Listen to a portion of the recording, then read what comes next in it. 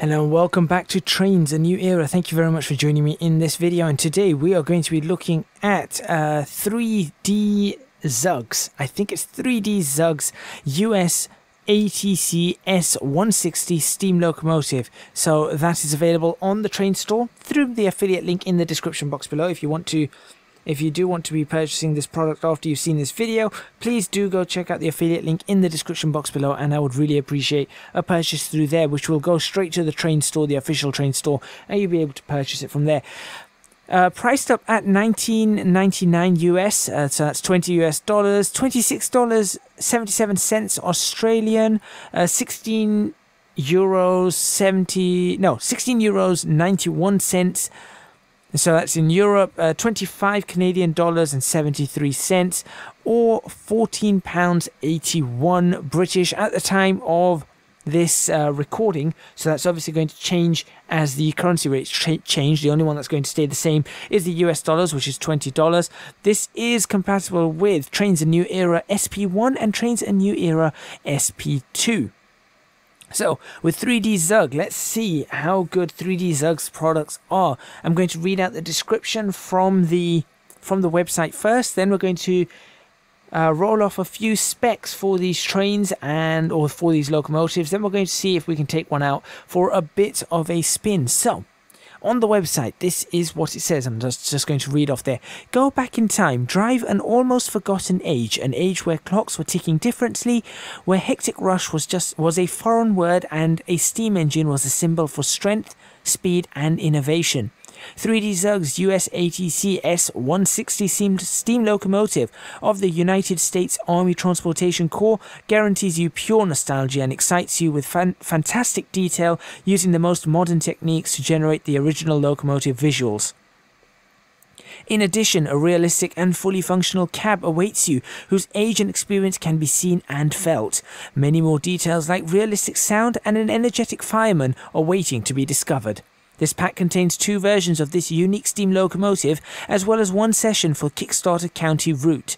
Treat yourself to something special, sniff the air of yesteryear, and drive one of the locomotives built in great quantities in days gone past. Features US ATC S160 steam locomotive in two versions plus tenders, as you can see on the screen in front of you. Fully functional cab, realistic sounds, realistic visual appearance and animations, an animated fireman, support for winter looks, snow, ice for months January through March, and one session for the Kickstarter County route. So that is basically off the website. I would say that this doesn't seem to be up to the spec or at least it doesn't on the surface seem to be up to the spec of the Zekrel products. What I do like though is, and this is why I've picked the light snow and picked this in January, look at that.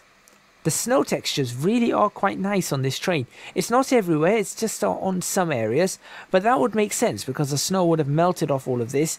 It would be in these in the areas where it seems to be. That's where the snow would have piled up. So let's have a nice look at this at this train have a look at the visuals. As you can see, we've got two trains. One I've just stuck a, a passenger consist on just, just to give it some looks to see what it looks like. But the one that we're going to be trying out and driving today is going to be this one right here with the freight carriages. Now, this was designed for Europe. Uh, if I remember, if I remember correctly, this was designed. Uh, it was a. This is a consolidation class, I think, for use in Europe during World War II, and it was a heavy freight operation. So this isn't a heavy freight train, clearly, but this was designed for heavy, uh, heavy freight operations, definitely. I think 2,100 or just over 2,100 were built, and they were they were used in Africa, they were used in Asia, they were used in Europe, they were used in South America, they were even used in the United Kingdom. So this was designed during the 1930s, built between 1942 and 1946, so sort of during the latter stages of the World War. Um, you know, 19 1942 that would have pro probably been ready late 1942 so you're talking about 43 44 45 is when they would have been in in operation throughout the yeah throughout the configuration uh throughout the war sorry. The configuration of this is a 280 as you can see so the the front gears are pretty pretty small. The leading gear, oh sorry, the, yeah, I suppose the leading gear, the leading wheels, the driving gear. So the driving wheels are fairly big. I think twice the size roughly of the leading, and then there's none at the back. There's no trailing wheels. Uh, the length of the train, including the tender, is 61 feet, and I think the wheelbase is just over or just under 52 feet. So yeah, the driving wheels. I mean, each one of the driving wheels is a five foot, oh sorry, four foot nine in diameter, and the locomotive weighs 161,000 pounds. Uh, if you want that in kilograms, that's just over 73 tons. Uh, the tender weight is 115,500 pounds, which is just under 52,400 kilos, so 52.4 tons, just under 52.4 tons, and it could it could uh, carry an additional 20,000 pounds of coal.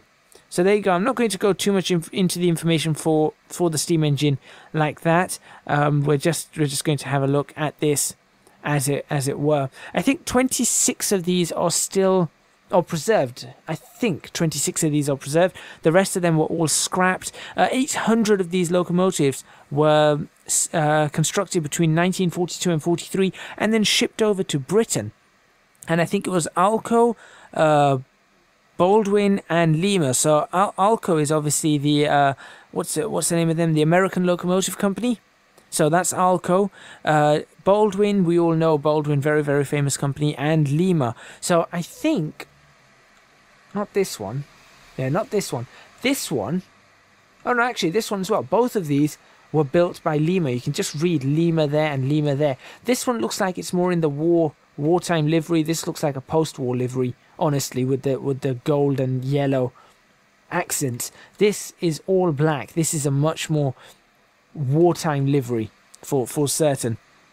So yes, they were built by Alco Baldwin and Lima, and then they were shipped off to uh, the Great Western Railway depot in Ebbw near Ebbw in Wales, and uh, the London North Eastern Railway (LNER) works in Doncaster, where they were completed uh, over there by by LNER and uh, Great Western Railway. And then they ran on the LMS Railway, the LN, LNER Railway, the uh, GWR Railway, and I think the SE Railway or Southern Railway, sorry, SR, the Southern Railways. So they ran along there. And then after after the war, after D-Day or something, they all went back and then they got shipped off to to uh, Europe after that. So uh, something like another 400 of them yeah, so, something like 400 of them or something. So 1,200 of, 200 of them, I think, ended up in the United Kingdom. Uh, a bunch of them were used on the United Kingdom railways and then they were shipped off to Europe or, or something like that. So, yeah, a very, very well known train. Uh, works differently to a standard British locomotives. So I think they did cause a little bit of trouble for, for the British engineers not understanding how these steam engines worked, as opposed to obviously our class A3s, A4s, A1s, whatever different trains we used, our tank engines, our tender engines, uh, etc. But anyway, that's a little bit of information about this train. Now we can get into having a look at this train in, in a little bit more detail in Trainz. So first of all, I have to say that the texturing is pretty well done. A little bit blurry as you get closer, as you can see. I would have liked that to be a little bit clearer, but it's not too bad uh, at all. We can also go over here and we can change the properties of these and as you can see we can load up the cold we can load up water we can change the running number if I just go to uh, come on give me an automatic running number I tell you what if I change that number maybe there you go we'll use that 793 and then we can probably change this to run 793 as well. So there you go, now we're running 793. So you can change the running number. As you can see, this one's running 997, but this one's running 793. Uh, pretty good. You can see all the little spurts of steam coming out from all the various air, uh, areas. This looks a little bit repetitive, I must admit. As you can see, you, you can see the repetitive nature of that, but it's not too bad all in all. I think it does it does the trick. Steam coming out the funnel looks good. It's a separate color. You know, you can see it's a more grayish color. And yeah, overall it does look pretty good. It does definitely look pretty good. So yeah, quite happy with how it looks from the outside. Maybe take that to use as a screenshot or something. There we go. And now let's go on the inside. In fact, no, first, before we go on the inside. No horn? No horn on this one. What about this one? Now that has a horn. Why does this one not have a horn? That's interesting. I wonder if it's just I wonder if it's just bugged out. I have noticed that sometimes you get bugs. There you go. It was bugged out. The button's just bugged out, that's all. But there you go. It does have the same horn. So both of them have the same horn, which is a pretty, pretty good horn. Uh, taking a look around. There's our animated fireman. Not the greatest, not the greatest quality, but really that's not what it's about. Honestly, I think maybe we could have done without, especially considering his shoes. So we could have probably done without that animated fireman. Uh, this up here looks interesting there. We can open that, I think. No? Yes, we can. There you go. So that can be opened. I'm I'm noticing a, a couple of. Can you see those? Those two seem to be see-through. Is that the same? Is that the same? Ooh, that's not what I wanted to do. Is that the same on this train? Yeah, there are. There are a couple of see-through. I don't know if anybody else can see those in in the video, but there you go. Look at those two. What? What's that? What's that all about? I've also noticed the interior and exterior models. Do they match up? Look, that's open right now. That's open. But it's only open half. If I close that, it's still open. So no, the interior and exterior models also do not match up. I'm finding that interesting. I don't even know what they are. Um, I'm not sure what half of these things are in here. Because it's not actually giving me the tooltips right now. But that's okay. Uh, I know this. This is definitely the regulator. And that's definitely... Sorry, this is definitely the reverser. And that's definitely the regulator. That to me looks like the brakes. That looks like the independent... Wait, that tells me that's the sanding lever. That looks to me like the locomotive... Uh, sorry, the train brake. Am I correct? That is the train brake. That looks to be like that's the independent. That is the independent brake. Good. Okay, so we've got that. That's our water valves. Um, fine. What else do we have? Those all turn, but it doesn't tell me what they are. So I'm not going to touch them. Uh, we're on automatic fireman, I believe, on this train. Let's go over to this train. And this one doesn't have an automatic fireman. Maybe this one will tell me a little bit more of what I need to know. Right, let's release the train brakes.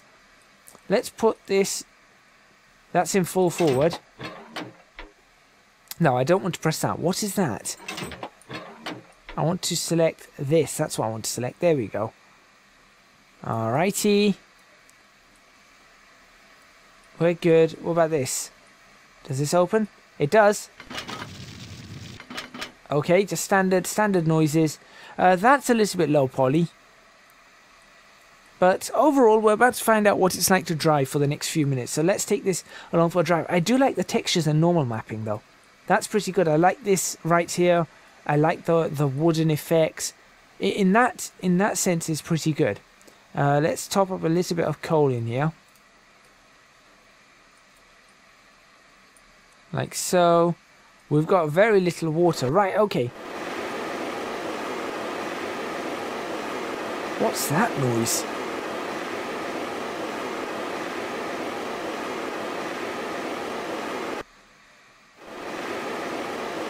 Have no idea why it's making that noise.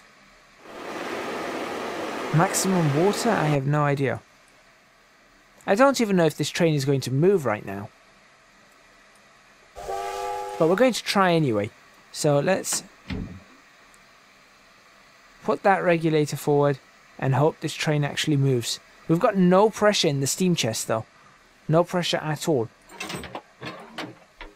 I don't know what that is.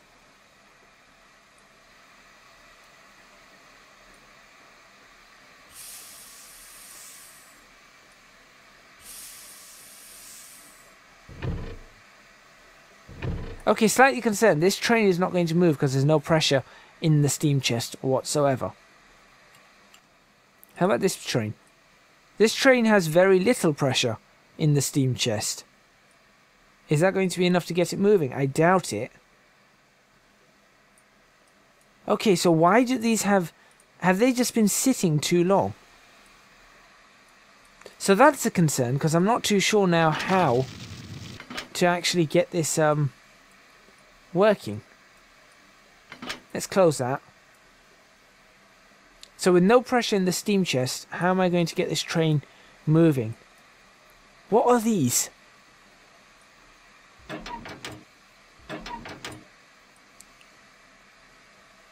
I mean, it's like I don't have a way to get pressure into the chest.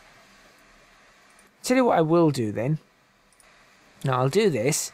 I will go to user rules and see if we can just bring this into easy mode. Then back into real... Nope, not going to happen. Alright, we'll leave this in easy mode. And then we'll just uh, get the train... Yeah, we can get these trains moving now. Alright, we can now get these trains moving. Let's select this one. Because I don't know why... If anyone can tell me why suddenly we've lost the... um. Oh, this is interesting.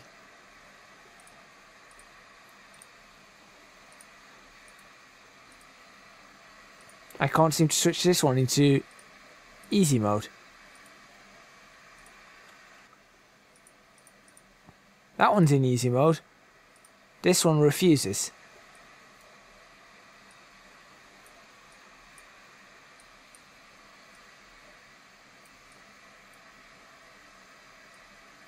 Interesting. Very interesting. Okay, let's just go with this one then. It's not the one I wanted to go for. But let's uh let's get we want to get a listen. We want to have a listen of what it sounds like. We've got the bell as well. There you go. It's got a bell. Sounds a bit odd. Horn is standard on it as you as you'd expect.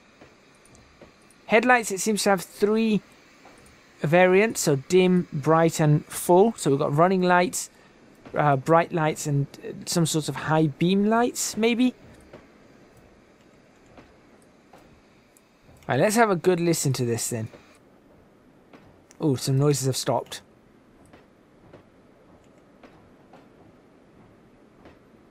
Now I can't tell you why suddenly it's the steam pressure's gone. I couldn't tell you that. We are accelerating away. In easy mode, unfortunately.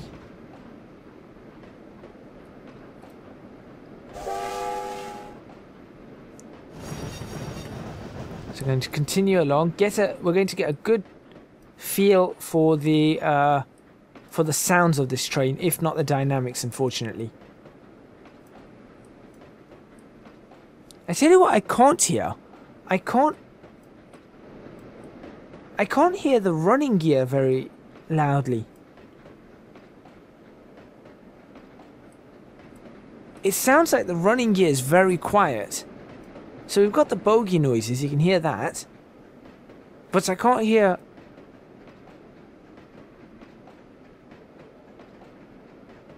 The chuffing noise. Can you guys hear the chuffing noise in the background? It's very quiet. I'm not sure why. Now, this could be, this could easily be down to a bug uh, just in Trainz for now. That's not what I meant to press.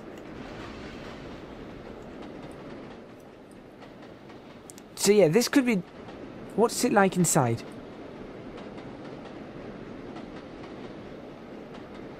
Still very quiet. No steam in the steam chest, clearly. Those two have still odd. We'll try and go back into uh, realistic mode in a couple of minutes. I just want to see what this, this train can do. I mean, you can you can just about you can hear the chuffing, but it's very quiet, which is odd. I like the animations, good animations all the way around. So that's pretty good. The smokes uh, that are coming out of the cylinders, okay, fair enough. Maybe I can shut those off. Is there a way to shut those off? I don't think I can touch anything in here.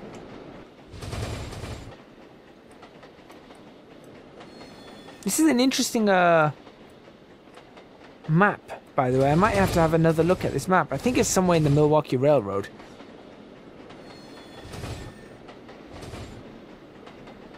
Okay, let's try and go back to realistic now.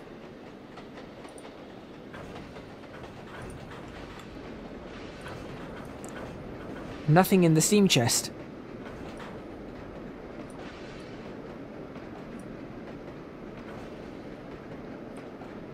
Why do we have nothing in the steam chest? I don't understand.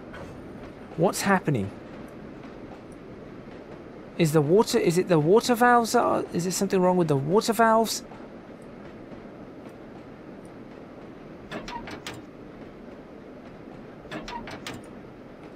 Can somebody tell me why we've run out of steam? So look at, this is the first time I've found a steam engine that's actually run out of steam. Just like that. And I can't work out why. Is this a is this a bug in, in game? Is this a bug in the engine? That once it runs out of steam you you're done for?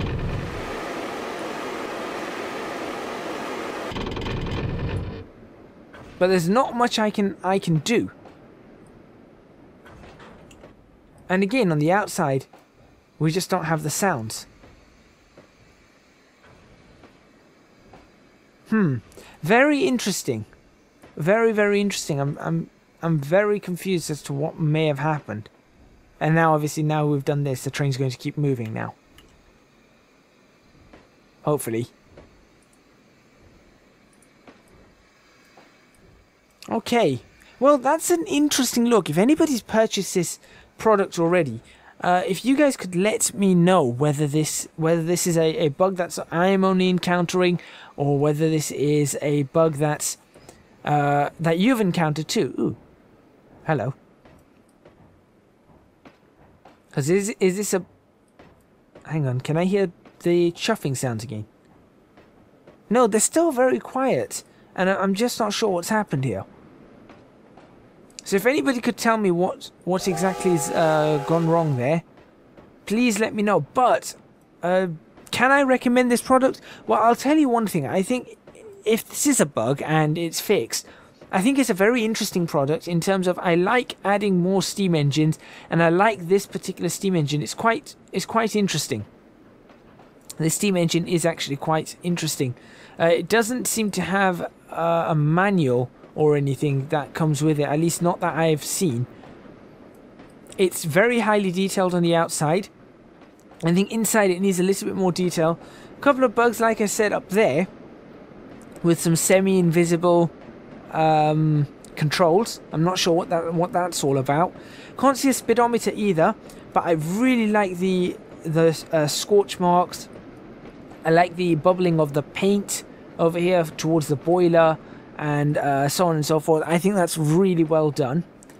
Um, the running sounds, if the train's supposed to be this quiet, okay, but I, I really don't think it's supposed to be. I, I do think that that's some sort of a bug.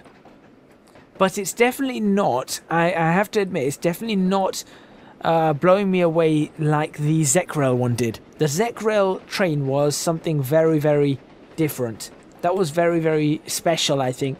Uh, and I think that has set the bar and this falls short of that particular bar. That's not to say that this is a bad train because I'm, I'm, sure it's not a bad train at all. We're just having a bit of bad luck with it. I might come back to this train later on, but for now, that is going to be uh, my review of it. So you know that that's what I think it, the train is like. It's um, it's okay. I think it's okay. Uh, I'm sure I can get it working eventually.